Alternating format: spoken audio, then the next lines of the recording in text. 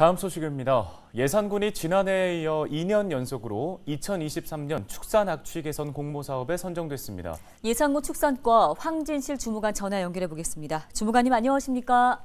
안녕하세요. 예산군 축산과 황진실입니다.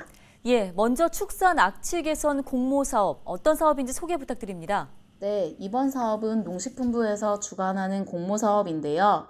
가축 분뇨 처리 및 악취 저감 시설 장비 지원으로 가축 분뇨의 적정 처리와 축산 악취를 저감하고 환경 오염 및 국민 불편을 예방하는 데 목적이 있습니다.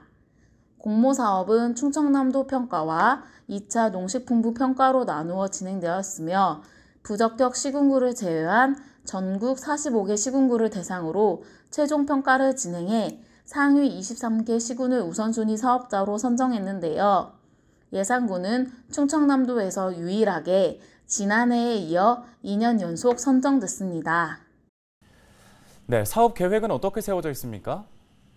네, 공모 사업 선정에 따라 군은 26억 6,700만 원의 사업비를 확보하게 됐으며 사업을 신청한 관내 24개 축산 농가를 대상으로 분뇨 처리 방식 개선, 축산 악취 저감, 경축 순환 활성화를 진행하는 등 축산 악취 개선을 위해 총력을 기울일 계획입니다. 앞으로 최종 사업 계획을 확정하고 이에 따른 사업 예산 확보 및 세부 추진 계획 수립 등 사업이 정상적으로 추진될 수 있도록 사전 준비에 최선을 다할 것입니다. 네, 잘 들었습니다. 황진실 주무관이었습니다.